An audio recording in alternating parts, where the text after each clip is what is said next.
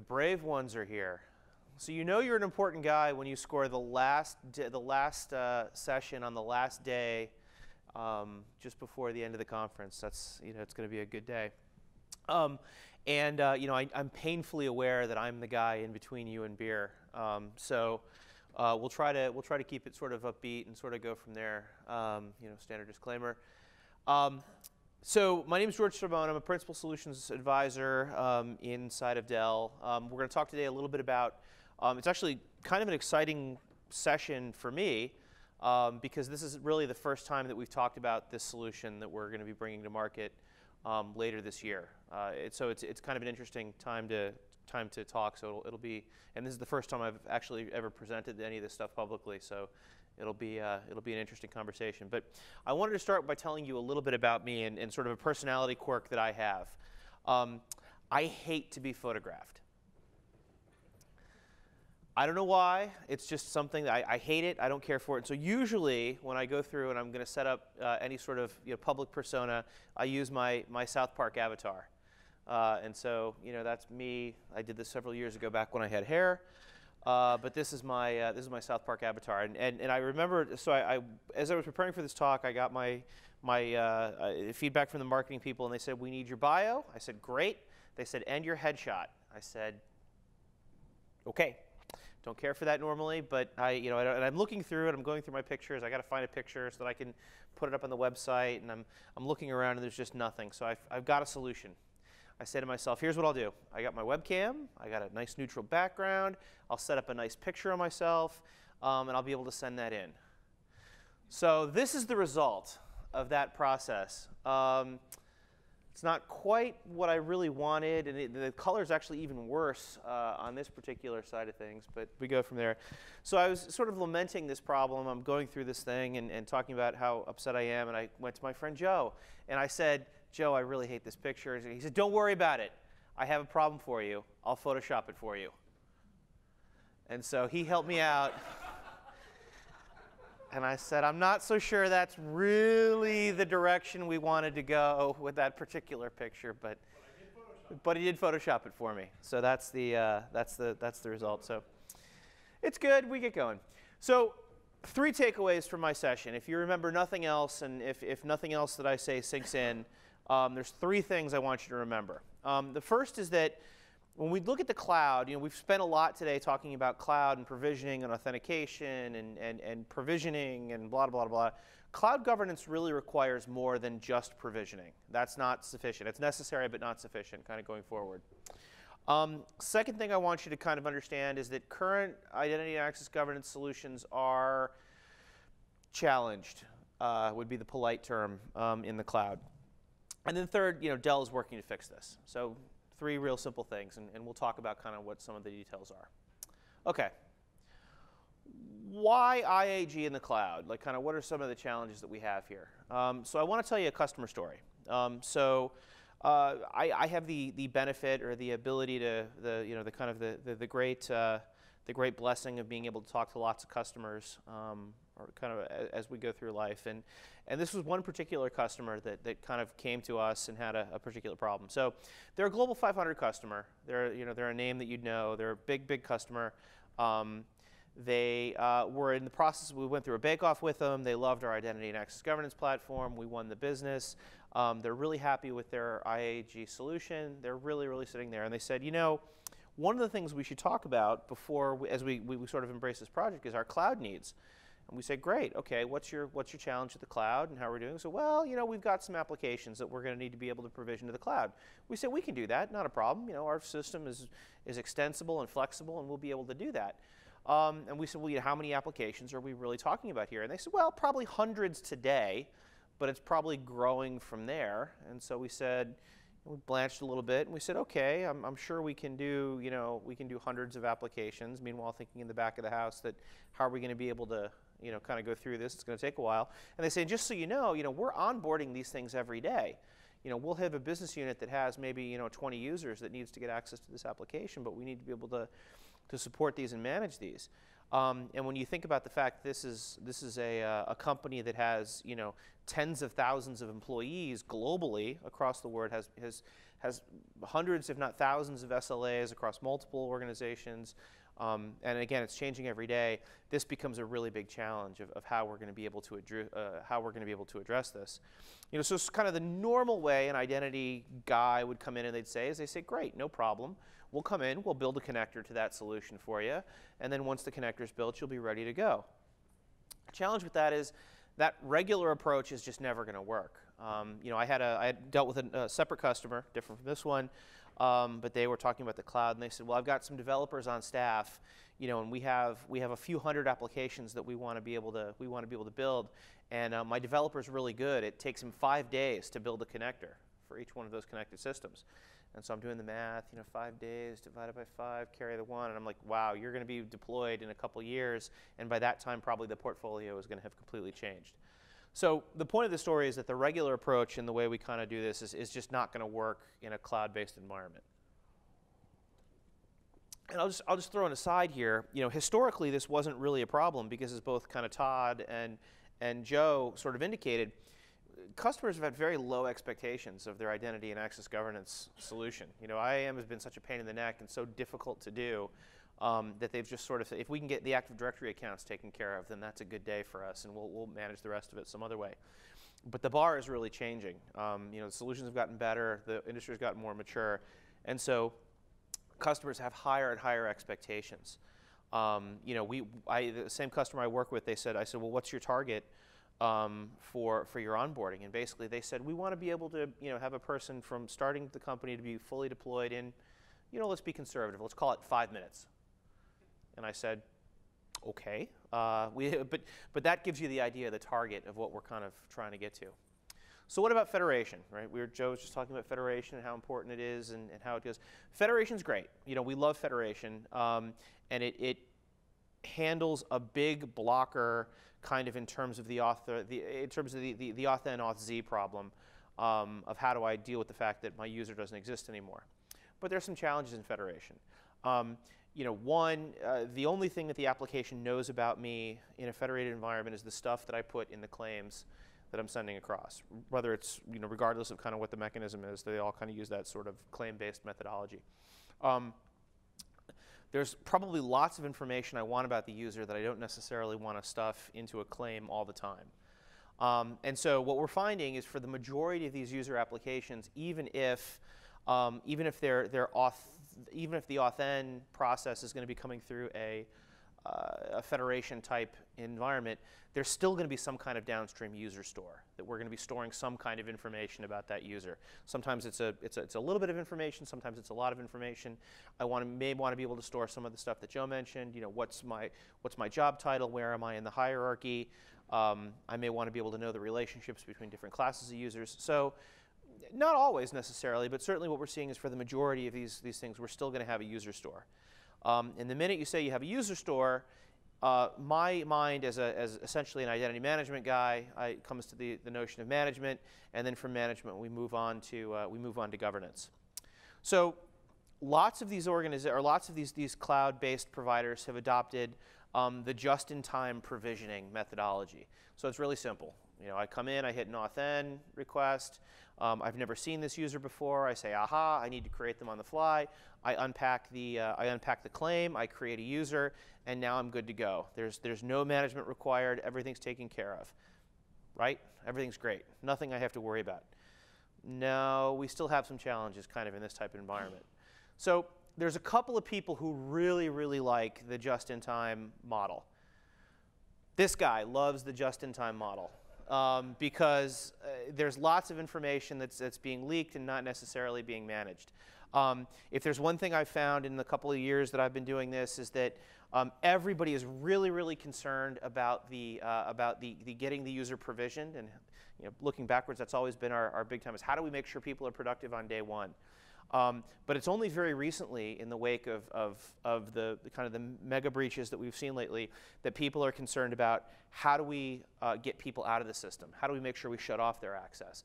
And I, I, and I don't know if anybody else has seen the same thing, but I would say probably within the last year, the pendulum has actually shifted.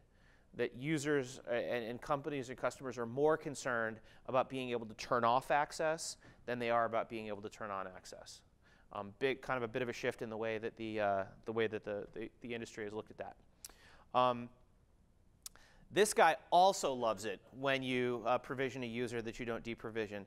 We don't have anybody who looks like this working for us at Dell, um, but I'm sure some of the other software vendors that you work with are, are really happy when you come in and you say, you need how many more licenses?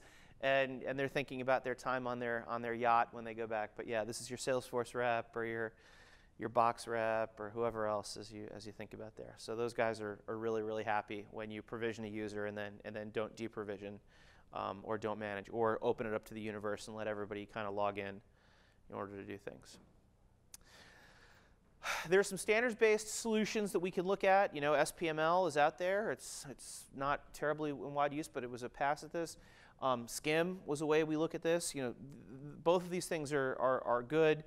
Um, what we found when we look at things like SCIM is there's some schema challenges in the way we, the way we address things. SCIM um, is probably the, the, the hot, you know, so I, I, I, kind of would pull the audience. Um, you know, for a long time I had sort of a long, lot of people talking about SCIM as a way to address this. Um, it's only been in the last year or so that I think we've really seen there's been traction around it. Um, again, I, I, often say that SCIM addresses the uh, SCIM addresses the how, but not the what. You know, it says if you're going to send data back and forth, this is the this is how you will send the data, but it doesn't necessarily define what data needs to go back and forth. Um, there's some challenges around uh, isolating kind of what what information we share. Um, I'll talk about that more in a, in a, in a little bit, but um, you don't necessarily want all of your cloud providers to have access to all of your data. You want to be a little more granular kind of in the way you, the way you do that. Um, and and, and I, I, point the note here that you know, provisioning is not equal to governance. Um, again, you know, provisioning is about, is about that, that, that initial, how do I give the person access? Governance is about how do we manage the life cycle of that access? Um, how do we keep track of, of where that access lives kind of in the context of the broader uh, enterprise persona, um, how do we make sure that, that, that this access or this entitlement um, is not in conflict with some other entitlement? And there's a half a dozen other things that we need to, we need to kind of think about in there. So the thing about uh, most of the identity management systems that are out there, um, especially when it, with respect when it deal, comes to dealing with the cloud, is they all sort of suck. Um, none of them are really very good. Uh, everything that, that, that's kind of in market right now um, was really built for an on-prem kind of environment. And you can retrofit it. You can, you know, but it's, it's, it's kind of like, you know, taking your boat and putting it on a trailer and strapping it down and calling it a car. It, it doesn't really address kind of the need that you, you need to do there. Um, we've already talked a little bit about, about access versus governance. Um, we talked about privacy. Uh, pri I didn't really talk about privacy. You know, again, um, we want to be really clear about what information we share out with our, with our partners, and we really want to be able to do that in a, in a granular way. Um, again, the, the, the, challenge that we're, we're finding as we go through these things is when we talk about the cloud, we're not talking about a handful of connected systems, we're potentially talking about hundreds or thousands of connected systems. And so when we start to look at policies for the kinds of informations that we're going to share with our business partners, we want to make those um, decisions globally and want to make sure that those decisions are enforced globally. Um, and so there's, there's a challenge in, in, how you do that, and we'll talk about that in a, in a moment. Um, and you know, and again, the, the, the, target for, for my customer was, was five minutes, not five weeks. And, uh, and so that's the kind of the mindset that we have going forward. If we're going to build this, we're going to take our existing sort of on-prem system and we're going to, we're going to work with the, these cloud-based environments, um, that should be really be our standard. And it turns out that's actually a fairly challenging problem kind of going forward for some of the areas that we're, we've talked about. So what do we need um, if we're going to be doing this? The first is a cloud-based service offering. Um, any, you know, when we're talking about cloud-based applications or managing cloud-based applications, it kind of makes sense that we would want to be able to have a cloud-based service offering. Um, because again, if we're moving to the cloud, the whole idea is we're trying to get less infrastructure on-prem. Um, we want to be able to, to manage it in the cloud, have it in the cloud, kind of move from, move from that perspective. Um, kind of the really goal is, is if we've take this, we've take this, the, this notion that we have where we've got a large number of applications and a large number of, of offerings coming in, we want to be able to blend them seamlessly into the identity and access governance infrastructure that we have. Um, taking into account all of the stuff that we've already talked about, where we want to be able to isolate the information, we want to be able to manage it in the cloud, we want to be able to, to deal with it kind of just in time. But at the same time, we don't want to give away all of the richness that we have in an on-prem environment as it exists today. You know, we've spent the last you know 10 years um, moving from kind of a, an, an IT automation uh, based approach all the way up to what Todd was talking about from a you know more of a much more business centric, much richer kind of ecosystem. We don't want to give any of that away.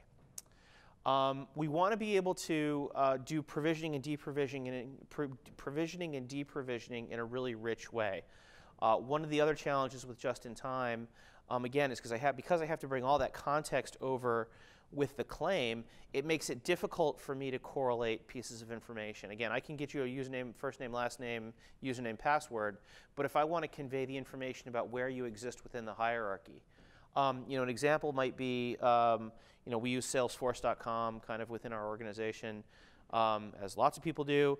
Um, I may want to convey where I exist kind of within a territory. Um, so if I'm a if I'm a national representative, you know, I want to be able to view everybody kind of within the organization. But if Joe is a regional representative, he may only want to be able to see things are, that are within a region. So it's, it's, it's something more kind of than, than, than we can convey necessarily. If it's for me, tell him I'm not here. Um, if, uh, so we want to be able to convey, we want to be able to, to, to provision, deprovision in a much richer way, kind of compared to what we can, what we can do is just part of a basic, uh, part of a basic organization. Um, so we want to be able to do things like construct uh, container structures, users, groups, nesting, kind of all the rich sort of stuff that we want to we want to be able to do that. Um, we want to be, to the extent that it's possible, we want to be able to use a standardized uh, standardized target schema. And then finally, just kind of from a from a personal goal, you know, we, we really want we, we, we see ourselves as, as as a goal, and, and what we want to be able to do is what we want to be building is best of breed. We want to be building kind of the best solution that's out there. How many people are familiar with Dell One Identity Manager at all? I know you guys are, but so I, I don't want to spend a ton of time, and I'm sort of planning for this talk that nobody really knew anything about it. So I wanted to do a real quick high-level um, overview of uh, Dell One Identity Manager as a, as a product.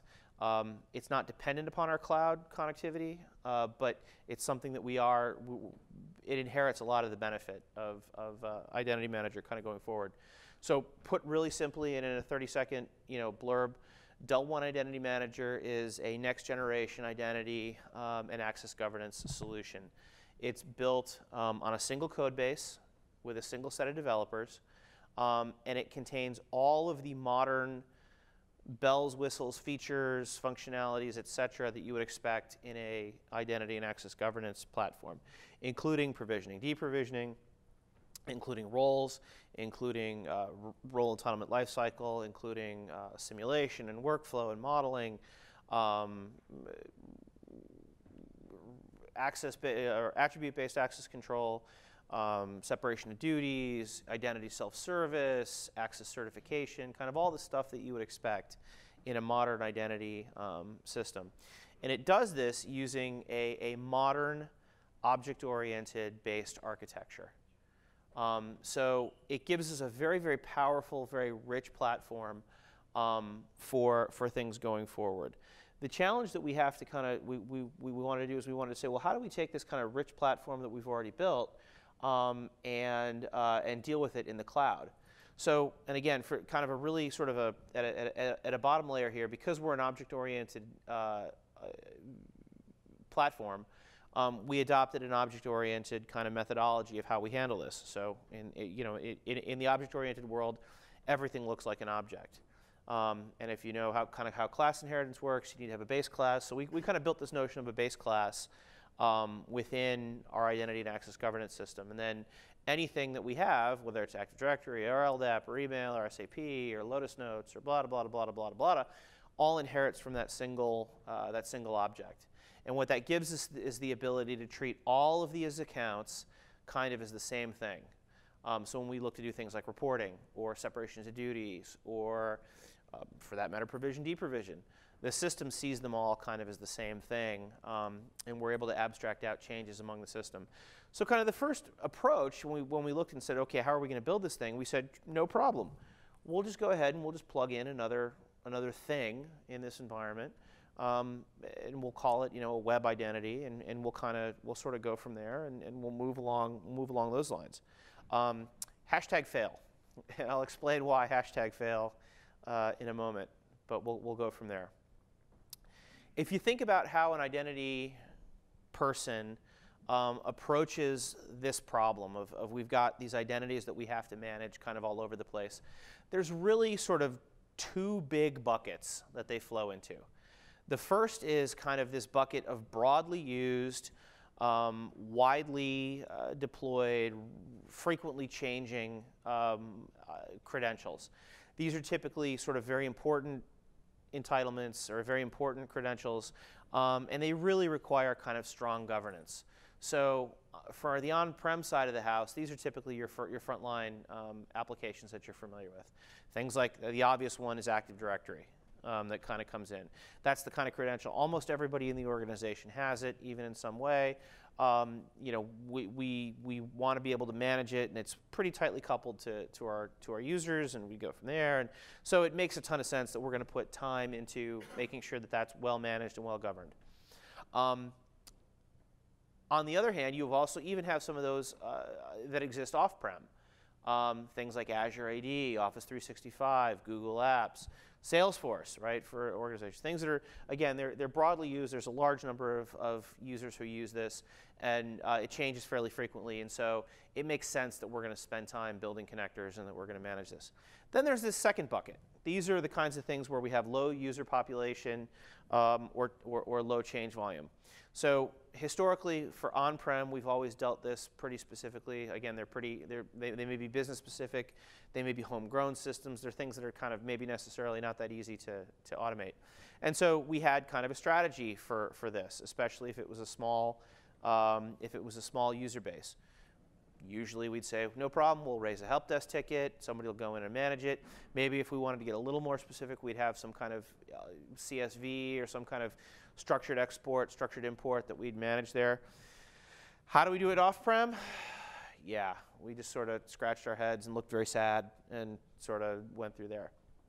Um, so that's kind of how, historically, from a connector perspective, we've looked at the universe. Um,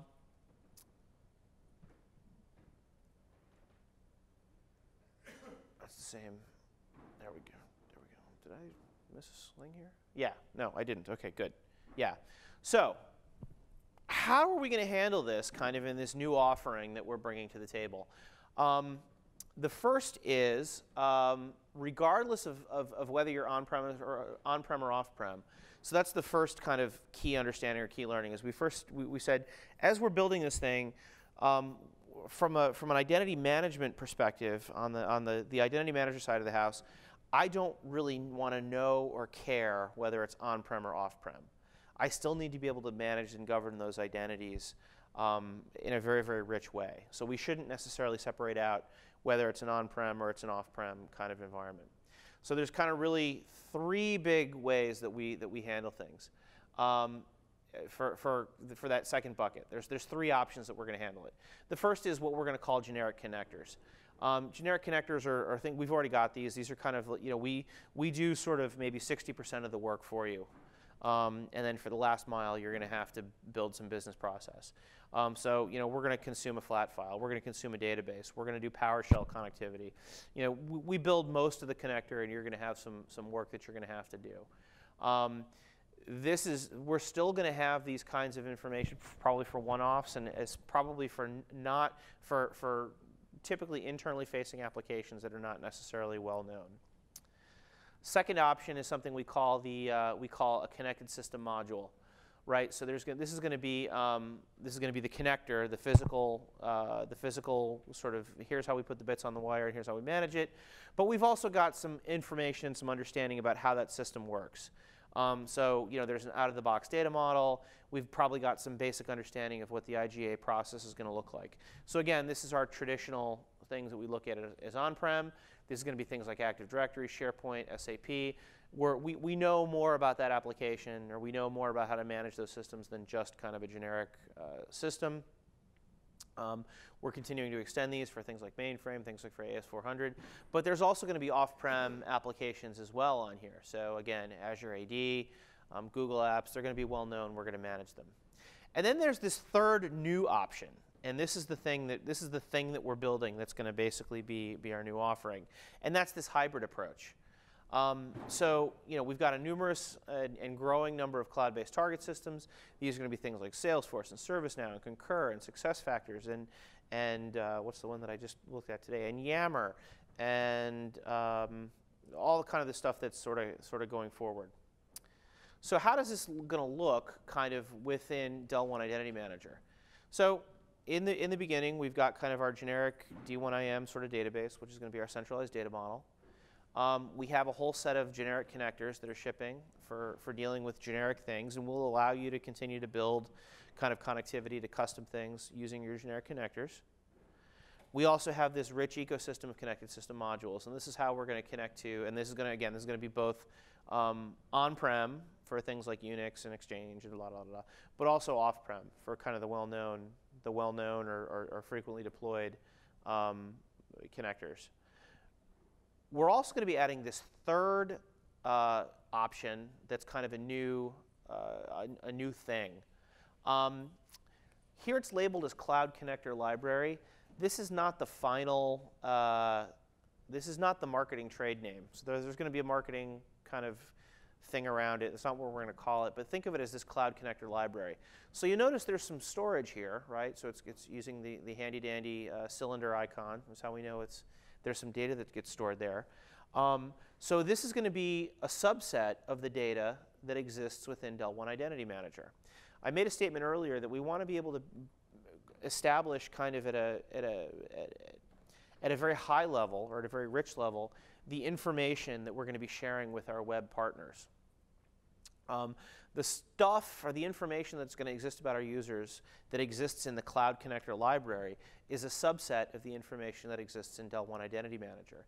And we're going to be able to replicate kind of this data back and forth. Um, this is kind of a really key thing because it allows us to isolate, the same way we can use an identity management system to isolate the person and their lifecycle changes from the accounts and their lifecycle changes, the Cloud Connector library is going to allow us to isolate the, the, the on-prem lifecycle from the cloud lifecycle. Um, turns out there's actually a lot of uh, applications where this becomes important. Um, one area that we're seeing this quite a bit is in higher ed, where there's, uh, and, and where there's all kinds of regulations and rules about the information that can be shared kind of with third parties. And so what this allows us to do is put this one single choke point in place that allows us to control what's, what information is getting out, um, from the main systems out to the Cloud Connector library. And then we can further restrict it kind of at the individual application level, but it gives us this choke point that we can, that we can have for kind of a point of management. The other piece that's interesting about this is I don't necessarily care where this piece lives, and I'll show you what that looks like kind of in a moment. So what we're building, this is going to be a cloud offering, right? So this Cloud Connector library thing that I mentioned earlier, this is going to be a cloud offering. Um, it's software as a service. It's going to provide a cloud-based environment for connecting to cloud applications and, and provide uh, fast-growing support there. We are going to expose a fixed schema for exposing, and essentially what we've decided to do is to adopt the SCIM schema um, with some extensions. Um, so SCIM is, is insufficiently expressive for some of the use cases that we think we're going to need there, and so there are some extensions that we're going to have to that we're going to have to put in there. Um, but the whole idea behind the scenes is that, is that we're going to be able to extend that as an endpoint that we'll be able to leverage. And I'll show you why that's interesting kind of in a second. Um, but the important point is everything from this Cloud Connector library managed to the cloud and everything else um, that's all kind of an, an, operations offering. That's all going to be part of the part of the, the cloud offering. So all of the operations, managing the synchronization, managing back and forth, managing the configuration, and finally, and the key thing is the implementa implementation of connectors um, is going to be part of the offering.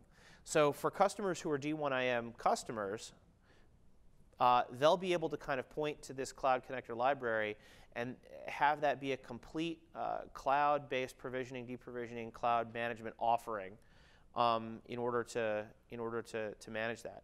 Again, black box kind of from that perspective. No code to write, nothing to manage, nothing to implement. So kind of what does this look like? So the Dell One Identity Manager integration on our side of the house, or on the, on the D1IM side of the house, we're going to be providing some enhancements into Dell One Identity Manager in order to support this environment. It's going to ship with Service Pack 2 for version 7.0, which is in Q3 kind of of this year. So uh, looking toward the, not too far. I had hoped to have a. Uh, I was going to wanted to be able to demo this to you guys for this conference, um, but that my, my, my colleagues laughed at me when I told them when the, uh, when the date was going to be, and so that didn't work out too well. Um, but, uh, but we have this kind of in, in beta at, at a couple different customers. Um, so, so the point of the story is that's, that's going to be, uh, that's going to be coming and, and, coming down the pipe. Um, this is going to be our solution for everything that's in the cloud that does not have a D1IM connector module. So again, the D1IM connector module is for large, well-known um, connector, uh, well-known kind of cloud-based applications that exist sort of within the cloud. Um, we're also going to be shipping some new connectors inside of Dell One Identity Manager. So basically a connector that knows how to talk to the Cloud Connector library in order to do provisioning, deprovisioning. So from an identity management, from a, from a D1IM perspective, this kind of lives almost uh, separate from um, from the environment. And I, I, won't go too deep into the architecture on the D1IM side, just because you know some of this stuff probably isn't going to mean too much to you guys from a from a CSM perspective. But we're, we're basically building in a cloud services management uh, module and a universal cloud interface module, so that we'll be able to talk to this piece and, and whatnot going forward. Um, won't go into too much detail here because if you don't know the UNS, then a unified namespace doesn't make a ton of sense here. The key takeaway is is that um, we're supporting more than just username password. And so we're going to be able to model kind of rich um, interactions from an entitlement perspective, from an item perspective, from a group perspective. And the reason why this becomes important is because this is all stuff that we need to bring in in order to be able to support things like separation of duty, um, things like multiple inheritance, um, kind of all the richness that we expect inside of, of Identity Manager, um, but have it available kind of in a, in a pretty rich way. Um, two modules, the CSM module. The CSM module is going to be the on-prem component of this thing. So this is going to be the thing inside of Identity Manager that knows how to talk to the Cloud Connector library. Um, it's going to be the integration point between D1IM and the cloud applications. And again, from a D1IM perspective, it's going to be plug and play. You're going to be able to sort of turn it on. It'll know automatically sort of how to talk to the how to talk to the Cloud Connector library, um, and it will just handle that synchronization um, kind of sort of semi-automatically. Um, on the uh, on the the UCI side, the Universal Common Interface, I thought it was Universal Cloud Interface, but I guess my things are messed up there. Didn't proofread my slides all that well. Got to work on that. Um, that's going to be kind of the cloud side of things. The interesting part about this is this is going to be um, available.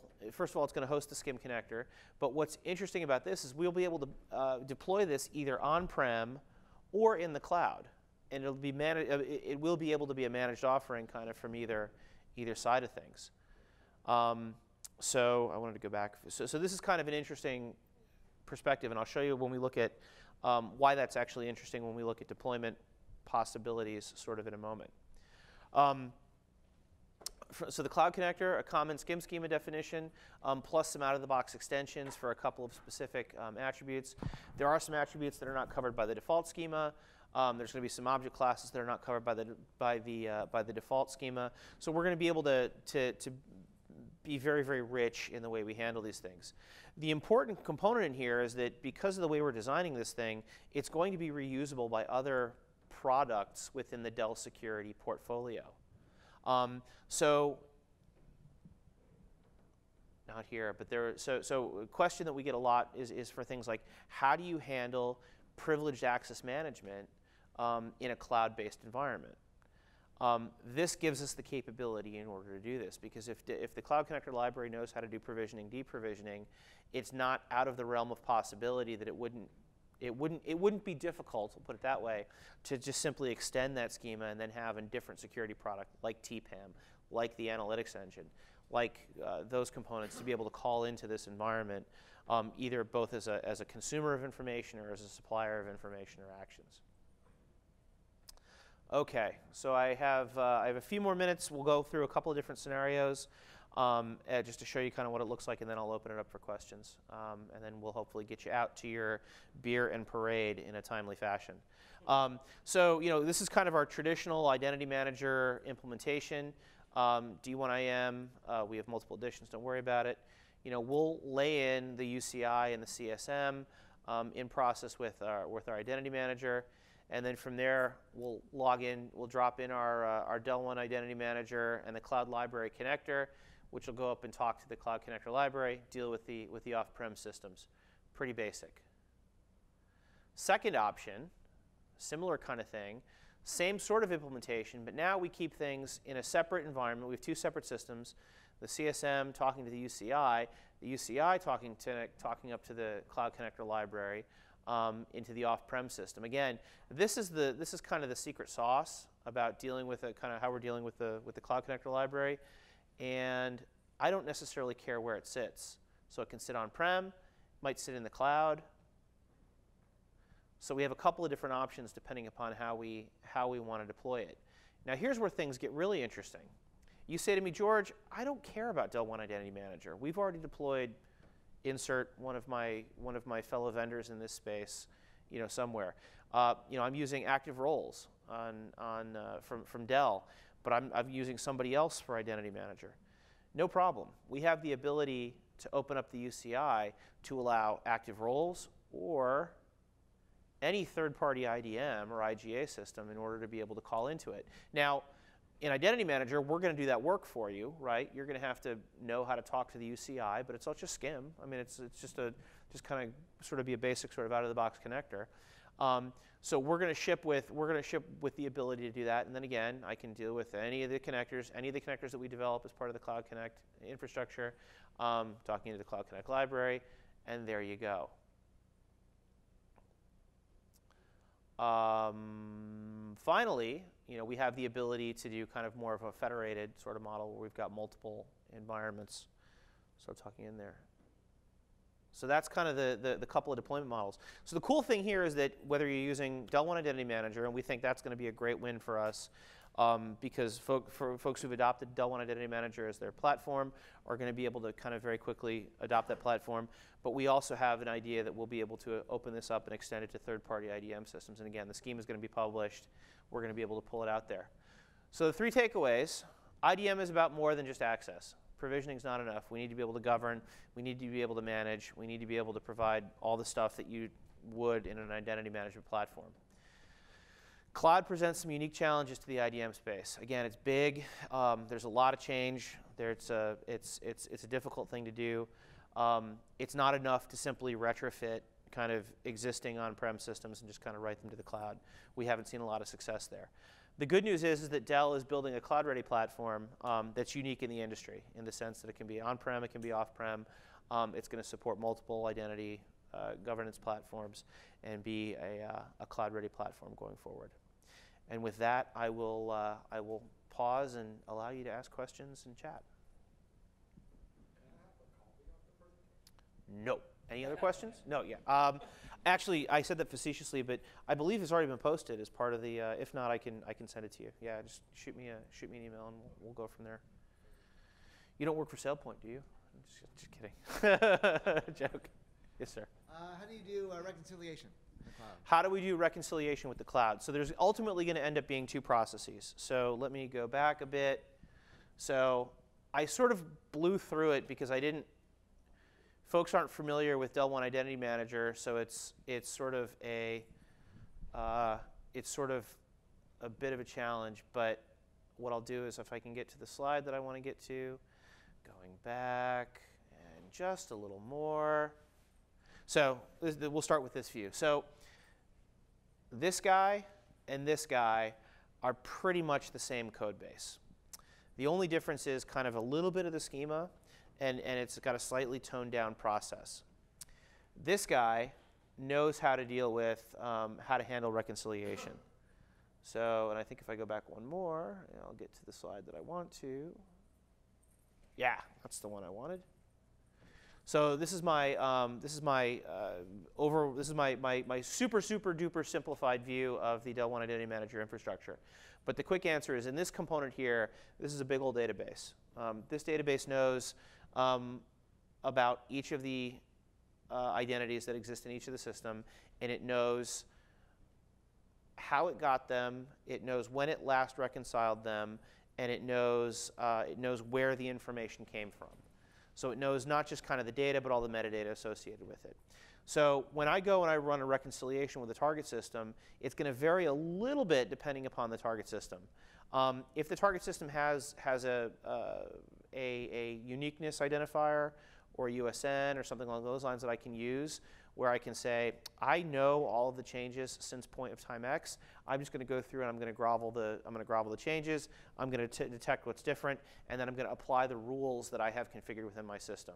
So how do I handle how do I handle collisions? Basically, is the easiest way to do it. Do I merge them in? Do I say I'm the source of truth and you're wrong, and I'm going to either mark it and alert an administrator, or am I going to pave you over and am I going to consume your changes? And that typically changes depending upon depending upon which piece we're talking about that logic is split across the cloud side and the on-prem side. So the cloud is, I, am I'm, pointing at a virtual thing that you can't see, so I probably shouldn't bother doing that. The cloud is reconciling things with the cloud and coming up with its subset and coming up with, with its, its version of the truth. My on-prem then reconciles with the cloud component and again applies those rules. How do I handle it? Do I consume it? Do I push it out? And we define that. We can define it down to the attribute level if we need to. But generally, we probably want to be a little less uh, specific or a little less pedantic on how we handle that. And part of it's going to depend upon what the cloud system reconciles. If we, if we, can, if we can just pull changes, we will. If we have to grovel the infrastructure, we will. Um, but we don't normally like to do that if we can avoid it. We can look at timestamps. There's lots of ways we can handle that. A quick question, uh, note, fast forward six, nine months ahead. Do you have a pricing model in mind? I mean, is it by user, by transaction? What We. I, uh, I'm a techno geek, and I sort of deliberately don't talk about pricing. But I can tell you at a high level, the the the, the, the way they're envisioning it is going to be a it's going to be a subscription-based model, which is kind of typically what they what they see in those um, in those kinds of environments, and it's going to be kind of based on based on the number of applications that you're that you're looking at. So they'll probably be, you know, less than five, less than 10, less than 100. I don't believe they're looking to, to price it by individual, by, by number of users, um, because at the end of the day, it probably doesn't really matter that much. It's, it's typically by the number of connections is the way it's going to, the way they're going to, they're, they're going to look at it. Um, if you have strong feelings about how it needs to be priced, um, I, I'm sure we would welcome that feedback. I'm looking at you, Todd.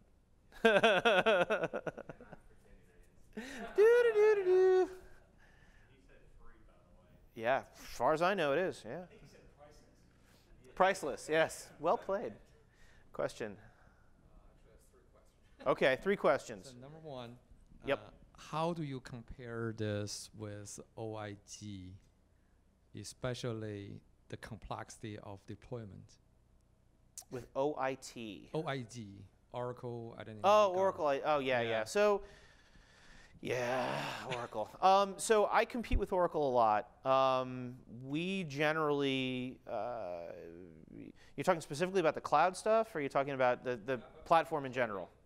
Platform in general, um, we generally compare very favorably um, with Oracle. Um, it's a, uh, we are, again, all things being equal, uh, we are a much simpler solution to deploy because we come with everything out of the box and configured and ready to go. We don't, you know, the, the folks who the folks who I've seen, you know, Oracle's a great solution. Um, it's a very complicated solution. So, you know, whereas I see the first question I, I look at when I look at a solution like that is I say, can we compete with those vendors? You know, the the big framework vendors. Can we compete with them and be be competitive? The, and, and from a both from a use case perspective, from a breadth of offering perspective, and then from a raw performance and, and availability perspective. And the answer that I have found is yes, absolutely. We are actively deploying in some of the largest um, the largest organizations in the world, including big financial services organizations, including governments, including um, you know big kind of uh, thorny organizations. Second thing is, you know, kind of how do we compare from a from a from a kind of deployment perspective? We're typically an easier an easier uplift um, because again, a lot of this stuff is pre-configured out of the box. There's no, you know, there's, there's one code base. There's one set of developers. It's one object model. It's one throat to choke. It's one install. It's you know, whereas the big framework vendors typically tend to have uh, come up over time. And as a result, they have a lot of kind of even internal integration that they have to do before you look at external facing integration. Let me throw in uh, one thought there, Sure. and this is the marketing guys that take it for what it's worth. Um, we see a lot of times when we're, you know, at a customer that they're, you know, they give us a, a proof of concept, and they say, here's the five or ten things that we want you to show you can do, and you're, you know, we gave the same five or ten things to the other vendors. Yeah. generally the feedback we get and we did a big analysis of you know all the deals we won the deals we lost and what the factors were. Um, in the deals we won generally it was okay you guys took three days to complete the 10 things. Um, you know vendor x um, three days in had two things completed and asked for another three weeks and you know vendor y was able to get it done in two and a half weeks you know so generally we when we're successful we find that it's because it's so much quicker to accomplish what you need to accomplish Yeah. so For sure. and, and that's in the proof of concept I, I don't have no, I have no idea on the actual deployment but I think it translates over Yeah, and I, and I think I think the analysts would agree with would, would agree with us on that side. You know, the only thing I'll throw out there is, is I think Todd makes a good point. You know, the, the, the, sales guys cringe when I say these things, but I'm going to let you in on a little secret. All of these platforms work. We all work. they all can, can do what you need to do. The question is at what velocity can they do them, and how quickly can you realize business value? And that's our, our, our mantra on these things. You know, that's, that's, the, that's, that's Department of Yes, right? Is we want to make sure we're recognizing business value as quickly as humanly possible.